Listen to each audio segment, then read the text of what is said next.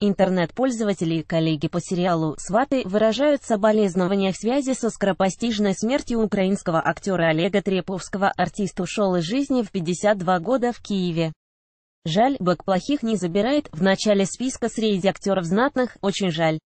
Совсем молодой, комментирует печальную новость пользователя Twitter известий застала врасплох и коллег Треповского. Он внес свой творческий вклад в эту картину, а она любима народом.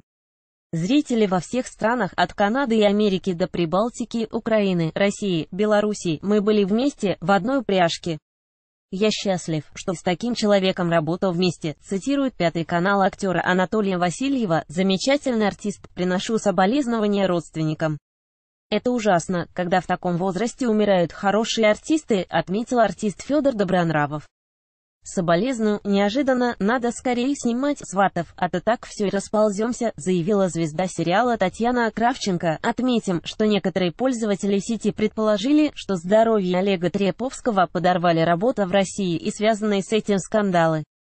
Кто-то высказал мнение, что актера затравили украинцы, ведь в незалежной с сериалом «Сваты» активно боролись, сначала хохлы запретили Треповскому в «Сватах» сниматься, а потом и вовсе до смерти затравили. Очень грустно, мистер Д. Собака мистер.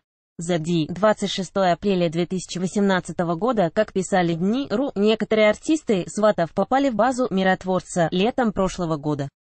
Их обвинили не только в нарушении границ Украины, но и в незаконной гастрольной деятельности. На 53 году жизни умер актер Олег Треповский, звезда сериала «Сваты скорбим». Илья Сивушов, собака Твиттер 59 миллионов 80 тысяч 125, 26 апреля 2018 года.